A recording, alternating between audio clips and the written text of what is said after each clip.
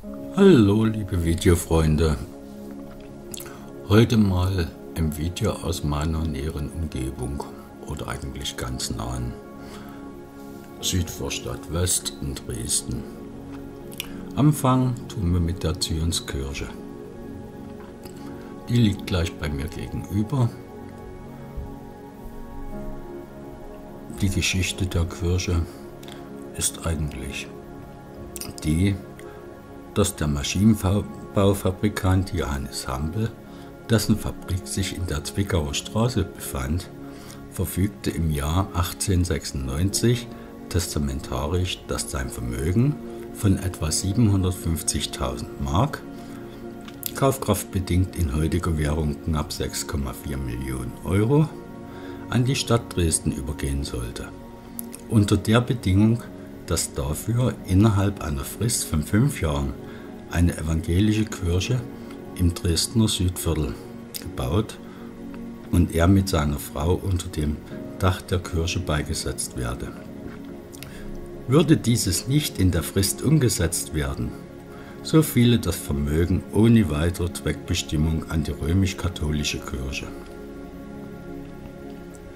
Am 5. November 1901 wurde, um die Frist einhalten zu können, an der Nürnberger Straße, Ecke Hohe Straße, zunächst der Grundstein für eine Kirche gelegt, deren Vorhaben bis dahin im Volksmund den spöttischen Namen Hampelkirche trug. Um diesen Begriff zu tilgen, bekam sie bereits zur Grundsteinlegung den Namen Zionskirche. Ein provisorischer Holzbau folgte wenig später.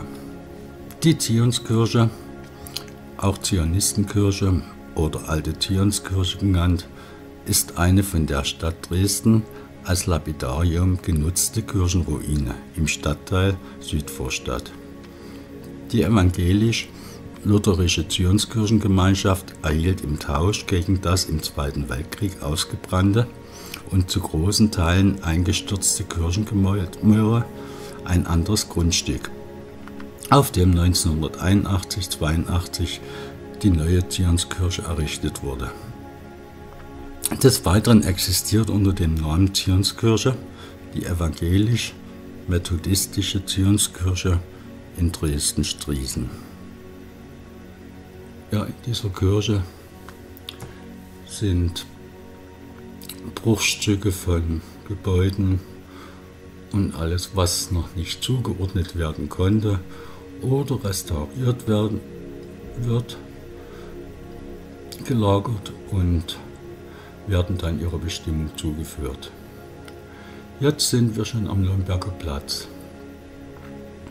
Früher war hier die Augaststätte Nürnberger Ei die mir eigentlich lieber war als dieser rote Turm, der da jetzt steht. Dieses Begrüßungszentrum von der Uni.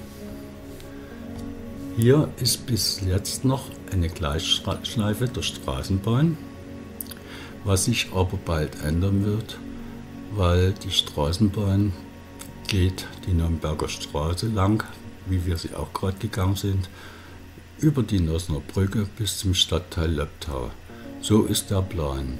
Also wird diese ganze Teil der Straße und auch die Brücke erneuert werden. Sollte eigentlich im Herbst letzten Jahres losgehen. Äh, bis jetzt ist da noch nicht so viel zu sehen, außer dass vom Kraftwerk äh, Fernleitungen neu verlegt wurden. Äh, ich kann da jetzt nichts Näheres dazu sagen, woran das hängt. Aber meistens hängt es ja am Geld.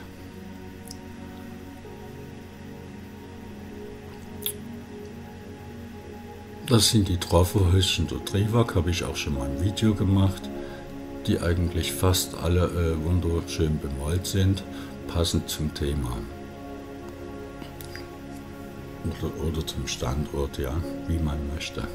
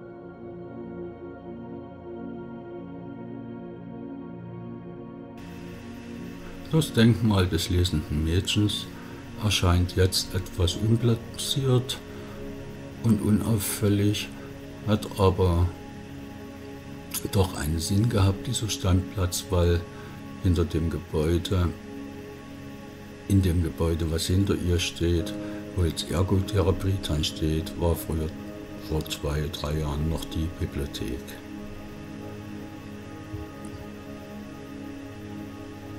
Jetzt sind wir am Nürnberger Platz.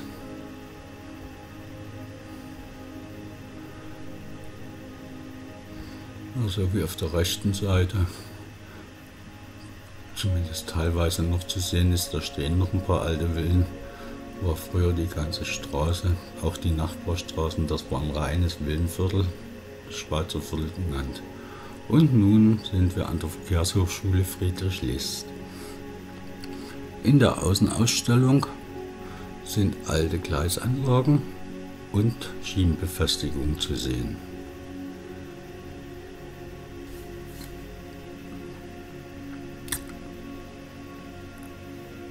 Die Fakultät Verkehrswissenschaften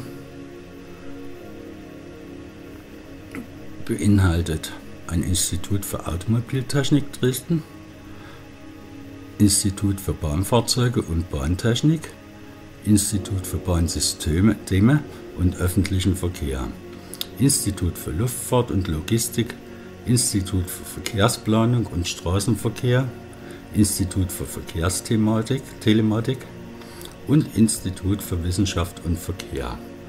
Also eigentlich alles außer Seefahrt, was irgendwie mit Eisenbahn zu tun hat.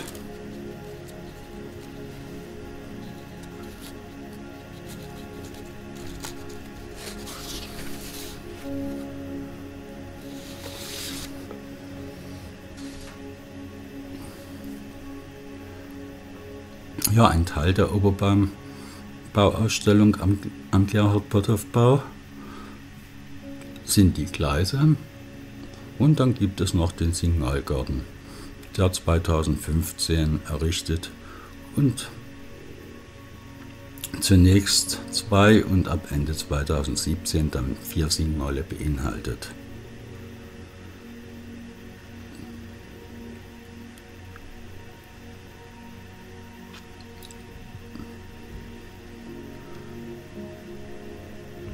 Der Gerhard-Bothoff-Bau ist sozusagen das Hauptgebäude. Es gehören noch weitere Gebäude zur Fakultät. Das Unigelände ist ja eine Stadt für sich, wenn man so will. Eigentlich riesengroß. Und nicht nur dieses zentrale Gelände, was hier an der Südvorstadt ist, sondern eigentlich gibt es in ganz Dresden verteilt irgendwelche Gebäude, die immer irgendwas mit der Universität zu tun haben.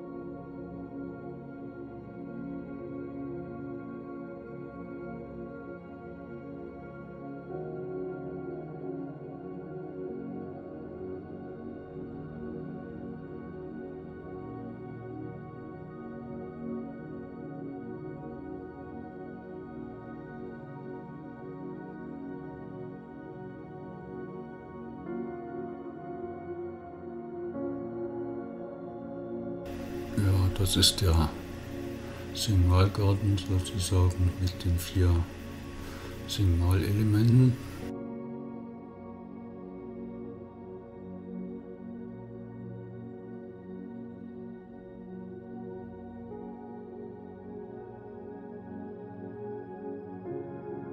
Im Hintergrund ist die Lukaskirche zu sehen. Da sind auch öfters Konzerte.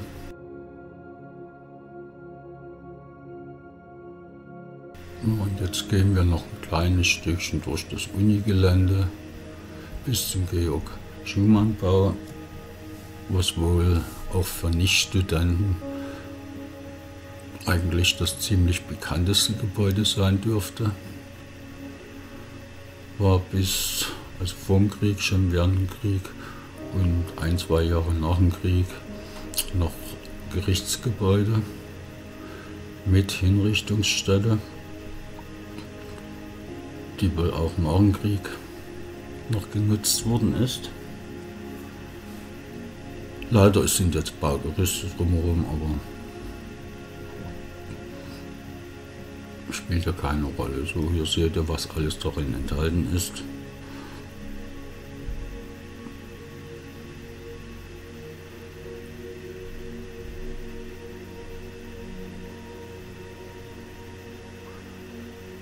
Das Video habe ich schon vor einigen Wochen aufgenommen, ist dann aber leider bei einer kleinen Umorganisierung des Rechners, wo ich fast alles gesichert habe, leider irgendwie doch flöten gegangen und ich habe das jetzt im zweiten Anlauf nochmal gemacht.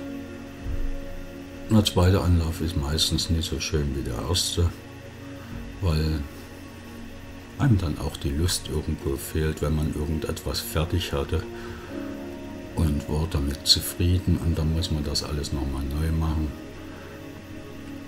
Aber naja, den Zweck erfüllt ja.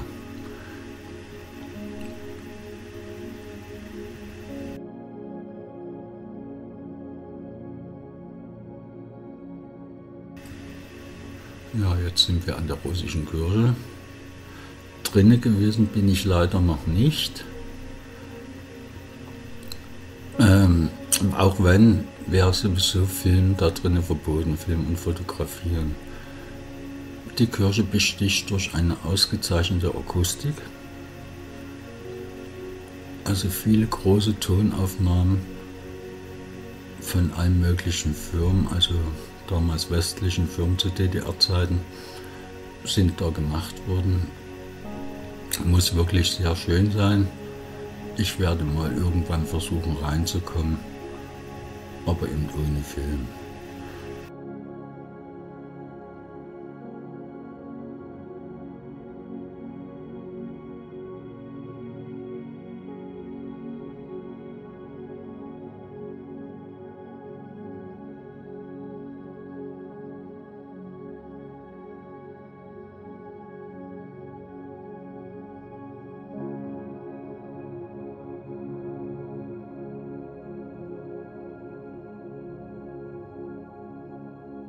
Ja, jetzt befinden wir uns im Hauptbahnhof.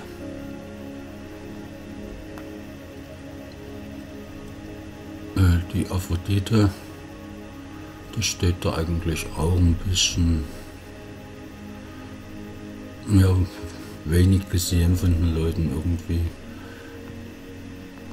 Und diese Seite des Hauptbahnhofs ist praktisch auch gleich die Stadtteilgrenze.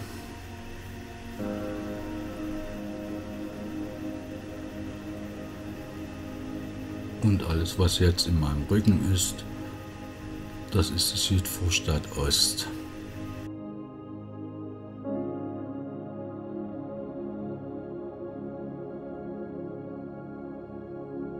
dort befinden sich unter anderem auch die Finanzämter und so weiter. Auch noch einige Parkanlagen. Vielleicht mal in einem anderen Video. Danke fürs Ansehen. Tschüss, euer Welli.